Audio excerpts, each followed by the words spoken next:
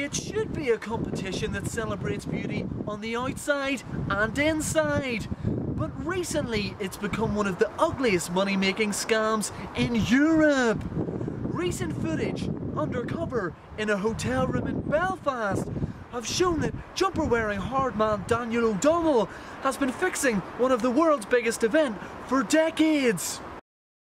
Using a bomb made of truth and lies. Like roughly, how long would you be? Would you say the Rose of Tralee has been fixed for? and How long have you been involved and in, Uh, like in it for? Fuck, where did see? Ever since Pussy was a kitten.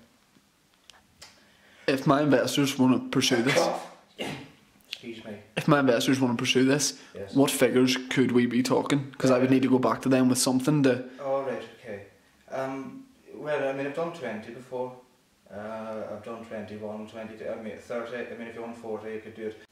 Well, put it this way, Bozo. If you want access, Daniel can get you access. I mean, can you open doors? Oh, Christ, I can open a door.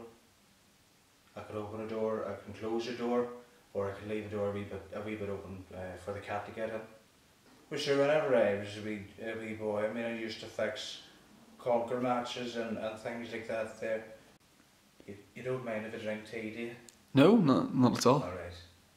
Because I, I need to know So, um, can can you tell me a bit about how you got into like the fix in the first place? Well, you know, ever since Gabe left the show, I mean, financially, it, it hasn't been, it hasn't been picking up. So I started to, I started to fix it, and uh, and, and just really just trying to get as, as many people to pump as much money into it as, as, as possible. What my investors are saying to me is how like what's the process? Like how do you go about fixing the Rose of Tralee? How's that done? Well, there's there's many ways that you can fix it. Uh, one way, I suppose, is that if the, if there's a particularly strong favourite this year, that before she comes out on stage, you know that that that it can uh, that, it can punch her in the ribs or, or, or the kid or both. I could maybe do both, and then that of course that you know because no one would suspect our innocent me. You know what I could do is just before she goes out is, is, is, is just drop kick her. See, all the judges love me. So whatever one you want to you want to win, uh, you could have them just sing one of my new songs. Granny, get up. The the kitchen's on fire.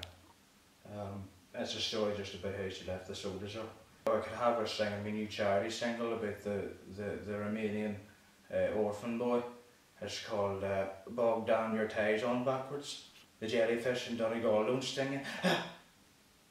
see the do you see? Nobody's going to suspect you of this, hundred percent. No, no, I, definitely not. Because I mean, you know, my public standing is, is massive. But uh, I mean, there there is a definite ruthless streak there. I was very close to being caught once because there was one there was one guy who who, who suspected me. But uh, put it this way, he's uh, he's made good fertilizer. He's dead. Sure, was in a Colombian jail not that not that long ago for one thing or the other. And this boy, boy who came up to me and he said something in Colombianese or whatever it is they speak. And I said to him, I'm loco, ese. And I've been taking Spanish lessons. So I know that so I know what that means now. Daniel's got no problem fucking a player up. Desktop timescale, I can say to them. Um, if, it, if I could just No, stop we- there, I mean that that box of tissues looks looks quite like a camera if you don't mind me. Don't No, mind me saying. I mean I'm not. it's just a book. I'm not completely stupid. No, it's. I wasn't born. I wasn't born yesterday. All right, I was born before yesterday. I've got to make a f- phone call, and I'll be. Just give me one minute there, and we'll Right. take care of this All right. Okay. sort this out. I'll stay here, sure. No problem.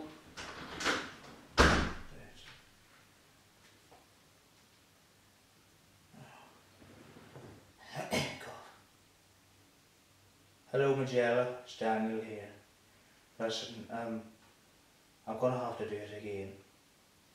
I'm gonna have to do it. So I need you to just, just bring, bring the, bring the petrol, uh, and bring the matches, and if you could also bring, bring a wee uh, Turkish delight. Uh, my tummy's rumbling. Okay. See you shortly. I'll take you home again, Kathleen. Stephen O'Neill, UTV Live, in a field because the studio was booked.